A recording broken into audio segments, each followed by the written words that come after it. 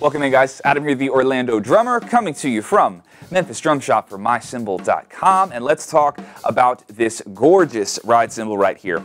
This ride is a 22-inch Big Apple ride, and it's in the Byzance Jazz series. So, as you can see, this is a fully lathed uh, ride cymbal. It's lathed all the way up to the bell.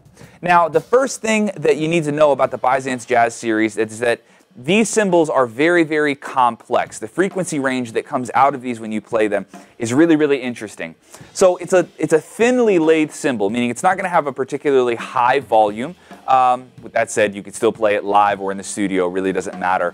Uh, but what I love about this is that you have all this articulation, but the wash that comes out of this cymbal as you're playing it, whether you're crashing into it, which it does really well, or if you're just playing with a stick on the flat part of the ride, you're going to get these really complex and just interesting frequency responses that just sort of breathe out of the cymbal.